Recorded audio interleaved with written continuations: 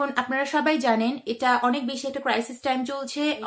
Is it safe to stay in Korea hello viewers আসসালামু আলাইকুম। আমি নুসরাদা প্রশান্ত শান্ত। ভাইরাস ছড়িয়ে পড়েছি কোরিয়ায়। কিন্তু তারপরও আমরা কোরিয়াতে আছি। আমাদের ছুটি নেই, আমরা বাসা যেতে পারছি না। সবার অনেক অনেক কারণ, অনেক অনেক রিজনে কিন্তু আছে। হ্যাঁ দেশ থেকে সবাই অনেক চিন্তা করছে, সবার ফ্যামিলি আছে। আমার ফ্যামিলিও অনেক বলছে যে চলে আয় চলে আয়, কি দরকার থাকার তো এখন এটা মূল বিষয় যে এটা কি সেফ আমরা যে কোরিয়ায় আছি, এটা কি আমাদের জন্য সেফ কিনা? আমি এটার উপরেই আজকে আমার ভিডিওটি বানিয়েছি।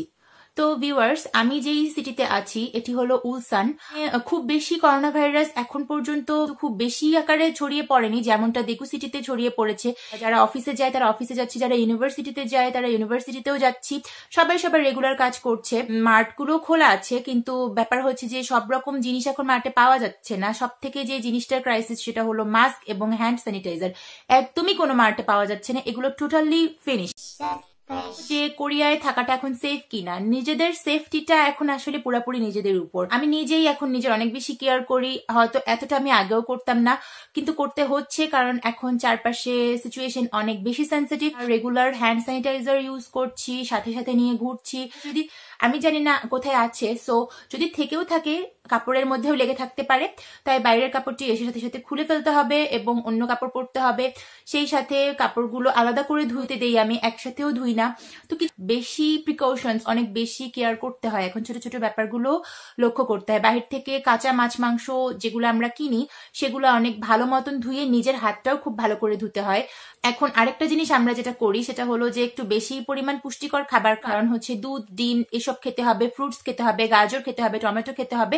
তাহলে আমাদের ইমিউনিটি যেটা মানে আমাদের রোগ প্রতিরোধ ক্ষমতা, সেটাও কিন্তু ভালো থাকবে। এই মুহূর্তে রোগ প্রতিরোধ ক্ষমতারও কিন্তু অনেক বেশি প্রয়োজন আছে। সামহাও কোনো কারণে যদি কেউ আমরা আক্রান্ত হয়ে পড়ি, তাহলে কিন্তু এই রোগ প্রতিরোধ ক্ষমতা ভালো থাকলে আমরা এটা থেকে সার্ভাইভ করে আমরা রিকভার করে ফেলতে পারব।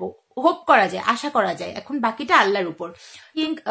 এভাবে যদি আমরা প্রিকশনসগুলো সবকিছু সুন্দর মতন মেনটেন করতে পারি, তো hopefully I think we can stay here আল্লাহর কাছে এখন সবাই এটাই দোয়া করছি তবে সবকিছু নর্মাল হবে।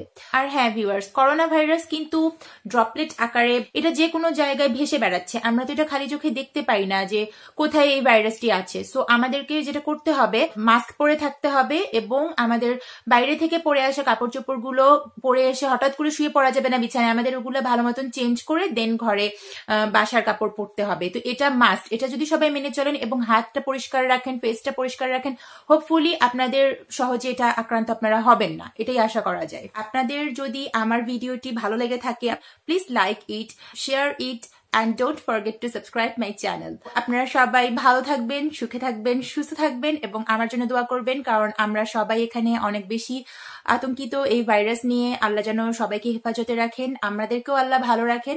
আমি আপনাদের সাথে আরও কিছু ভিডিও শেয়ার করব লেটেস্ট আপডেটসগুলো শেয়ার করব করোনা ভাইরাসের সাথে শেয়ার করব প্রিকশনস এবং কিছু অ্যাডভাইস আমি আমার নেক্সট ভিডিওতে আপলোড করে দিব। তো আজকের মতন এখানে আমি আমার ভিডিওটি শেষ করছি। সবাই অনেক ভালো থাকবেন। বাই